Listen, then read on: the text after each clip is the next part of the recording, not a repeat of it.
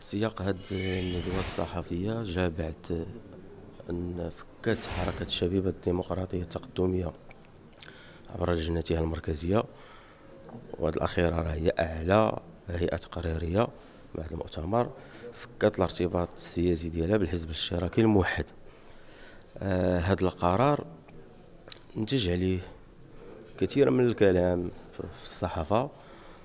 وسياق هذه الندوة هو توضيح بعض الأمور المرتبطة بالجانب القانوني من جهة والتنظيمي وأيضا السياسي لأن فك الارتباط قلنا سياسي أما التنظيمي هذا أمر حاصل من من مدة. فك الارتباط السياسي سببه أن الحزب الاشتراكي الموحد في تقدير الشباب تخلى عن ثابت من ثوابت الفكر اليساري. اللي هو السعي إلى توحيد اليسار.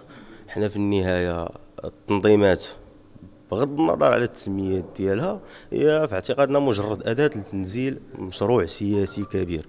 ولذلك فهاد فهاد الاختيار اللي دار الحزب الاشتراكي الموحد بخروجه عمليا من مشروع ديال توحيد اليسار اللي النواه الصلبة ديالو هي فيدراليه اليسار خلى الشباب يناصروا الخط السياسي على حساب انتماء كان اولى على حساب مناصرة لحزب سياسيا. اليوم ملي تخلى هذا الحزب على الخط السياسي اللي تيأمنوا به الشباب ففك الارتباط ولذلك قلنا في هذه في هذه الندوة خصنا نوضحوا بزاف ديال الأمور المرتبطة بالقانوني كيفاش اتخذ هذا القرار لأن بدات تمر تمرر مجموعة من المغالطات في بعض المنابر زعما بين قوسين الصفراء اللي لا تتحرى الدقة.